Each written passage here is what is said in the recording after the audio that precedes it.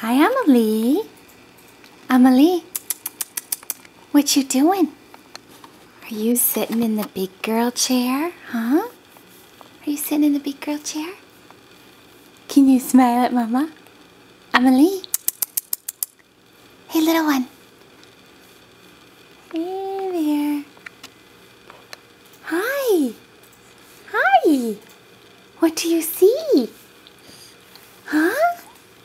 What do you think about that sitting up, huh? It's the first time that Amelie is sitting in the big girl chair. And she is one day shy of 12 weeks. Can we get a smile? Can I get a smile from you? I want to see a smile. Give me a little smile. Just a little one. Just a little one.